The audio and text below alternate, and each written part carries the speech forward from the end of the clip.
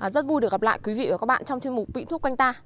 À, thưa quý vị và các bạn, à, với tính mát, vị đắng à, thì trong y học cổ truyền, à, cây chỉ thiên là loại dược liệu được sử dụng trong các bài thuốc điều trị bệnh à, với công dụng chủ yếu là trị viêm amidan, à, trị viêm họng.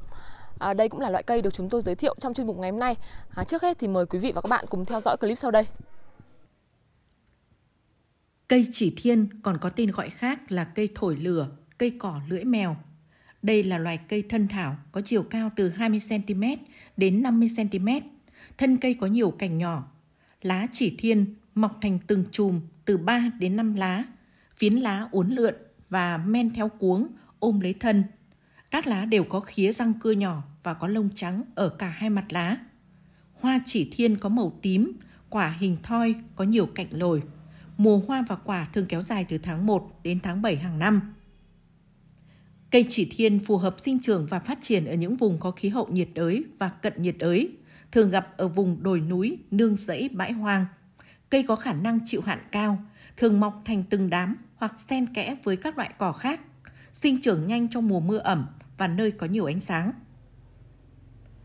Theo y học cổ truyền, cây chỉ thiên có vị đắng tính mát, có tác dụng thanh nhiệt giải độc, khoan trung hạ khí, lợi tiểu, tiêu thủng, Tất cả các bộ phận của cây đều dùng được làm thuốc, được thu hái quanh năm, có thể dùng tươi hoặc đem sấy khô, phơi khô. À, thưa quý vị và các bạn, à, để có thể tìm hiểu kỹ hơn về cây chỉ thiên, à, trong chuyên mục ngày hôm nay chúng ta có sự đồng hành của bác sĩ chuyên khoa 1 Sùng A Dung, à, trưởng khoa y học cổ truyền của Trung tâm Y tế huyện Điện Biên Đông. À, xin chào bác sĩ ạ. Vâng, chào chị, chào quý vị đang xem chương trình. Thưa bác sĩ ạ, à, cây chỉ thiên nghe cái tên gọi thì cũng à, rất là đặc biệt rồi thì không biết loại cây này trong đông y thì có cái tác dụng cũng như là đặc tính như thế nào ạ? Cây chỉ thiên thì thường là cây mọc hoang, nó có phân bố ở tất cả trên thế giới. Và ở cả Việt Nam thì cũng không phải là cây trồng nó mọc hoang ở tất cả những đồi chọc, nó có vị đắng, tính mát, quy vào kinh phế và kinh tỳ.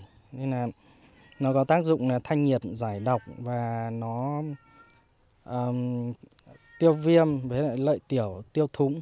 À, dạ vâng ạ, vậy thì với những đặc tính cũng như là công dụng như vậy thì à, khi mà ứng dụng cây chỉ thiên vào các bài thuốc chữa bệnh thì chúng ta có thể ứng dụng như nào ạ? Sau đây tôi sẽ giới thiệu về một số cái bài thuốc về cây chỉ thiên. Cây chỉ thiên thì định dùng được cả tươi và cả khô. Đối với trường hợp khô thì à, băm thái nhỏ xong nó sao vàng hạ thổ, à, phơi khô sao vàng hạ thổ.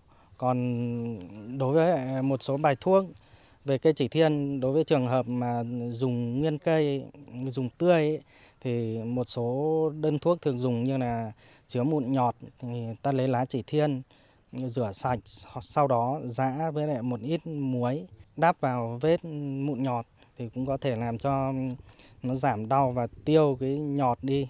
Bài thuốc thứ hai là chứa viêm họng, viêm amidan thì ta lấy à, 10 gram khô của cây chỉ thiên hãm với 300ml nước đun sôi trong khoảng 30 phút, chiều uống nhiều lần trong ngày. Bài thuốc thứ ba chứa viêm loét miệng lưỡi thì lấy 30 gram à, khô của cây chỉ thiên à, sang uống hàng ngày. Ta uống từ 3 đến 5 ngày thì cũng làm cho cái viêm loét miệng lưỡi khỏi.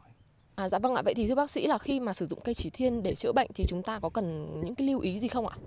Vì cây chỉ thiên là cây có tính mát nên nên là chú ý thận trọng cho một số trường hợp có bệnh ờ, hàn thì không nên dùng với lại những người suy nhược cơ thể, phụ nữ có có thai thì không nên dùng cái cây chỉ thiên này.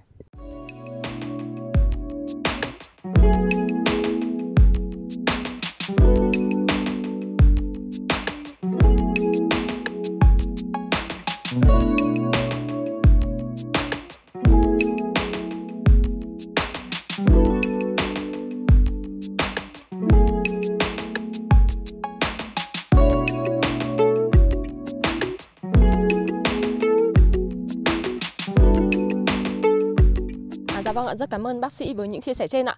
À, thưa quý vị và các bạn, à, với những thông tin về cây chỉ thiên được chúng tôi cung cấp trong chương trình ngày hôm nay, à, hy vọng quý vị và các bạn có thể ứng dụng loại cây này vào chữa bệnh trong cuộc sống hàng ngày. À, đến đây thì chuyên mục vị thuốc quanh ta kỳ này của Đài Phát thanh và Truyền hình Điện Biên xin phép được khép lại. À, xin chào và hẹn gặp lại trong chương trình lần sau.